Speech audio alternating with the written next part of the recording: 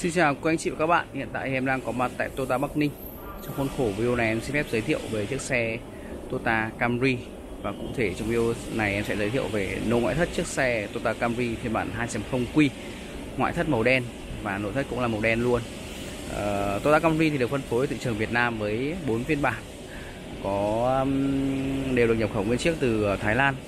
Và uh, bộ phiên bản là được như sau thì trước khi ờ, giới thiệu về cụ thể nội ngoại thất thì em sẽ điểm qua một chút về thông tin xe. Về xe phiên bản 2.0 G sẽ có giá niêm yết là 1 tỷ 070 triệu và với những cái xe mà phiên bản 2023 thì sẽ có giá thay đổi là 1 tỷ 035 à 005 tăng 35 triệu. Còn phiên bản à, à, thứ hai phiên bản 2.0 Q phiên bản trước mắt chúng ta đây sẽ có giá so với phiên bản 2022 là 1 tỷ 185 còn phiên bản 2023 là 1 tỷ 220 à, ờ, còn ngoài ra phiên bản tiếp theo phiên bản 2.5 Q phiên bản khá là huyền thoại.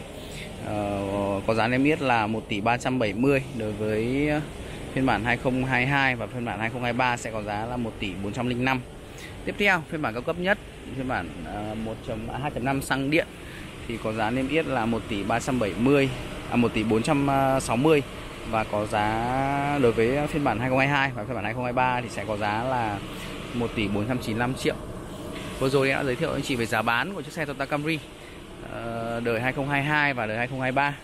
Hiện tại thì em đang còn ờ, cả hai đời và chiếc xe trước mắt chúng ta đây là phiên bản 2023 rồi. Chị cần muốn lấy phiên bản nào thì cứ alo em, em sẽ sắp xếp ờ, về xe cho anh chị. Tuy nhiên là nếu mà anh chị gọi muộn một chút khoảng tầm tháng 4 thì à, lúc ấy chỉ còn phiên bản 2023 thôi chỉ còn phiên bản trước mắt chúng ta đây. Thì trước mắt à, như em đã đã báo ở đầu video này em sẽ giới thiệu cho anh chị về nội ngoại thất chiếc xe Toyota Camry phiên bản 2.0 Q. À, và ngoại thất màu đen và nội thất cũng là màu đen.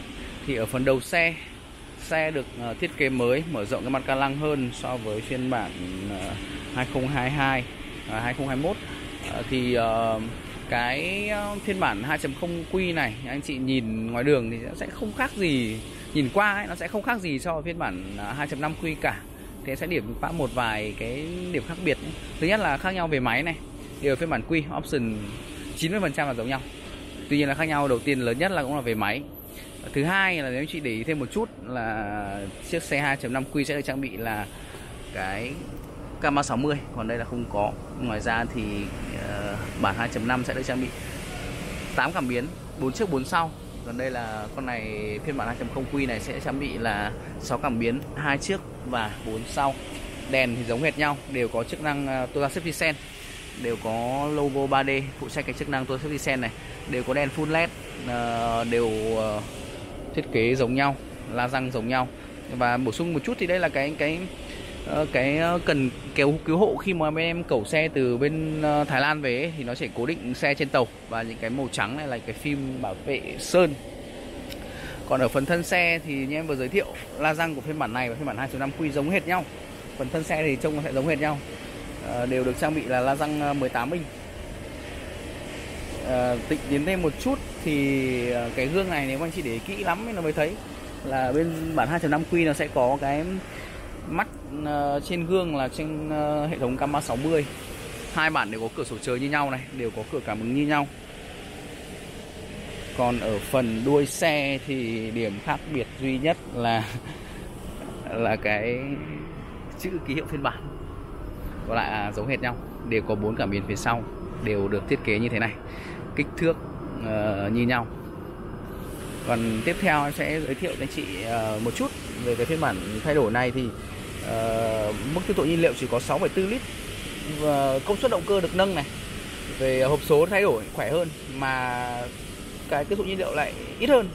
Ờ, một cái rất hay của phiên bản Camry hiện tại. Còn đây là nội thất ờ, Camry 2.0 Q nội thất màu đen. Thì sẽ có như ở trước trên màn hình của anh chị đây tất cả nội thất, ghế táp lô táp ly cửa đều là được bọc da màu đen và là nhựa màu đen. Đây là phần hàng ghế thứ hai. Thì hàng ghế thứ hai, cả hai phiên bản đều được trang bị rèm ở bên cửa sổ này, cửa sổ ờ, đằng sau, rèm cửa phía sau này, đều được trang bị cái cụm điều khiển cho người ngồi phía sau này, một cái rất là đáng giá ở phiên bản Camry. Cửa sổ gió điều hòa phía sau này, sạc, hai sạc USB ở đằng sau.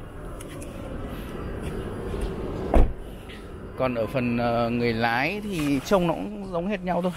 Nó không khác gì nhau nhau cả. Đều được trang bị là 9 loa JBL đều được trang bị là màn hình JBL đều được trang bị là đèn auto, gạt mưa auto, lấy chuyển số 6 vô lăng đèn ờ, pha thích ứng này, rồi ờ, nhớ ghế nhớ ghế đây.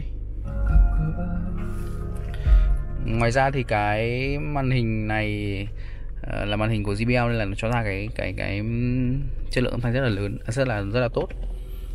Đều được trang bị là HUD H kính. Anh chị thấy nó sẽ mờ mờ kìa nó sẽ hát từ đây lên. À, đều được trang bị là gương auto. Này rồi điều hòa ba vùng tự động. À, Apple CarPlay rồi um, Android Auto. Đều được trang bị là cái cổng sạc USB của đây. Và kết nối Apple CarPlay của cúc ở đây. Đây là cái tẩu sạc 12V ngoài ra bên cạnh nó đây bên dưới này sẽ là cái chỗ để sạc không dây. Đây là sạc không dây. Cũng là hốc để đồ bên dưới luôn.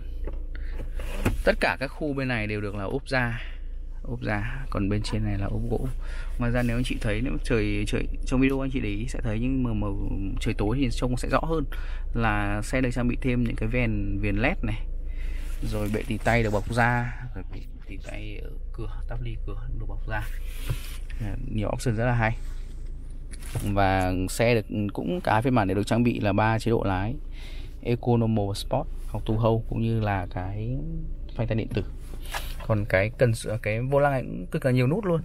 Ở đây là điều chỉnh chỉnh cái màn hình ờ, đa thông tin này ờ, điều chỉnh tăng, giảm âm lượng, ra lệnh giọng nói, rồi ờ, các cái chức năng của Total Safety Sense này, rồi qua bài các chế độ âm thanh và vừa rồi thì em đã giới thiệu cho anh chị về ờ, các cái uh, chi tiết về nội ngoại thất chiếc xe 2.0 Toyota Camry 2.0 Q và giới thiệu cho anh chị về giá bán của các dòng xe Toyota Camry hiện tại. Thì anh chị các em tư vấn thêm về các các thông tin bổ sung như là dòng xe, giá xe, màu xe hay là các vấn đề về trả góp, các vấn đề về hỗ trợ chi phí cũng như là hỗ trợ thủ tục thì anh chị liên hệ giúp em qua số hotline trên màn hình. Em xin phép hẹn anh chị những video tiếp theo. Xin chào và hẹn gặp lại.